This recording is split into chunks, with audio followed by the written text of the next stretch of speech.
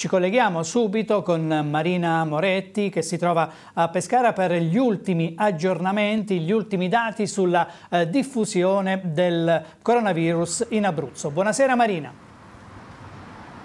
Buonasera a te Paolo, buonasera qui da Pescara, da me, da Diego Martelli alla telecamera. Oggi sono 310 nuovi positivi L'età va da 1 a 95 anni, ci sono come hai detto giustamente 15 decessi, età dei decessi da 39 a 93 anni, sono 459 i guariti, Sotto i 19 anni sono 53 i positivi, eh, c'è da dire che i tamponi effettuati sono circa 9.000 fra eh, tamponi antigenici e, e, molecolari. Il tasso di positività oggi rispetto al numero di tamponi effettuati è del 3.3% e eh, mi fa piacere adesso dare tre segni meno perché sono un piccolo ma significativo segnale. Ci sono meno, 14 persone in meno in terapia non intensiva, 3 persone in meno in terapia intensiva e 147 persone in meno eh, che sono a casa e che eh, quindi da oggi possono riprendere una vita diciamo così normale o come il Covid consente. La provincia con più casi ancora una volta come già accade da giorni è quella dell'Aquila, sono 107 99 quella di Teramo, 81 la provincia di Chieti e 42 la provincia di Pescara. Questi sono i dati più significativi del eh, bollettino diramato oggi dall'assessorato alla salute della regione Abruzzo. Paolo.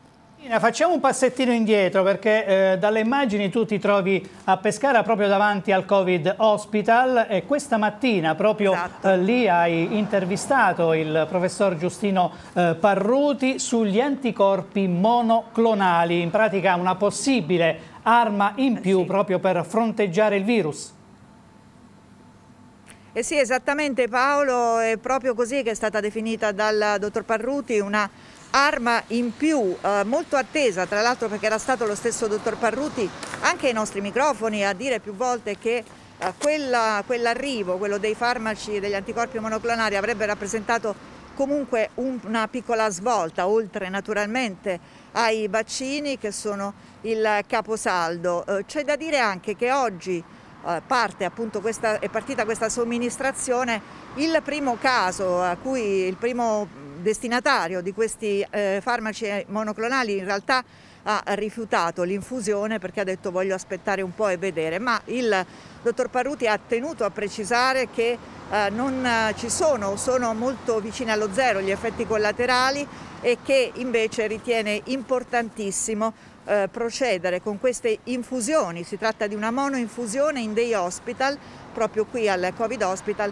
Dicevo, il dottor Paruti ritiene importantissimo eh, procedere eh, subito, appena ci sono i primi sintomi o addirittura anche solo quando eh, si scopre il positivo. Farmaci che però vengono dati secondo il protocollo alle persone che sono più a rischio, cioè alle persone positive ma che hanno eh, fattori di rischio anche multipli come alcune patologie, lo sentiremo fra poco dallo stesso dottor Parruti, e quindi che rischiano di sviluppare la malattia e di eh, risviluppare le complicanze che la stessa eh, malattia può dare. E dunque se sei d'accordo Paolo partirai con l'intervista al dottor Parruti e poi ti restituisco comunque la linea. Perfetto.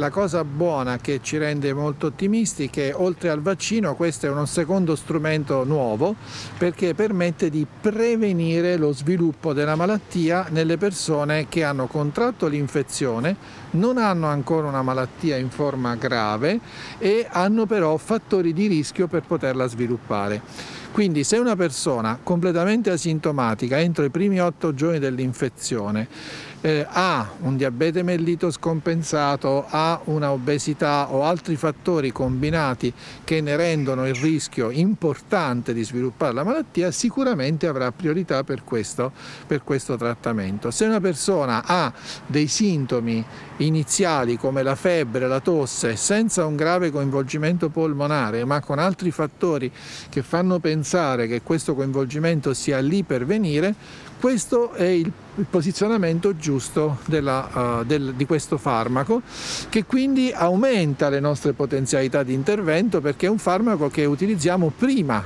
di tutti gli altri che stiamo adesso utilizzando quando ancora non c'è malattia importante. Chi indica uh, questa, questa utilità, diciamo così, il medico curante o? Sì, allora chiaramente una parte importantissima nell'utilizzo di questi farmaci è, affidata al territorio e quindi ai medici di medicina generale e ai loro bracci armati che sono i medici delle unità eh, speciali di continuità assistenziale, gli USCA.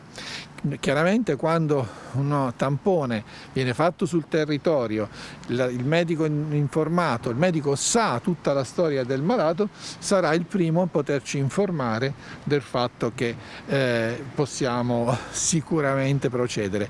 Ma se un malato per una forma lieve o lievissima venisse eh, o per un'altra ragione, essendo andato in pronto soccorso per esempio, per eh, una frattura e avendo febbre e un po' di tosse gli fanno un tampone che viene positivo, anche il medico che ha appena fatto la nuova diagnosi, quindi non sul territorio ma in ospedale, può giustamente inviarci il malato.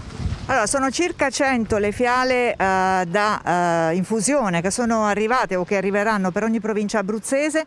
Si spera e si confida anche in un ulteriore arrivo una volta terminate queste fiale. C'è da dire però che la prevenzione non sempre trova tutti d'accordo. Faccio un esempio, se io pur essendo positivo fossi in buona salute apparentemente non avessi grandi problemi mettere una sostanza di cui si conosce, o almeno il cittadino conosce ancora poco, potrei avere delle prevenzioni. Tant'è che oggi una persona ha proprio rifiutato questa infusione. Cosa si sente di dire lei?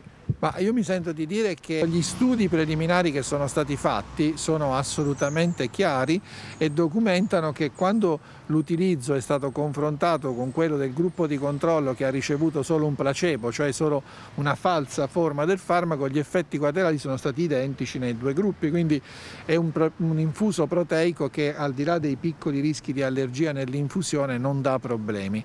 Quindi mi sento di dire che è una cosa assolutamente sicura, giustamente ognuno nella, trattandosi di una forma preventiva può fare le sue considerazioni.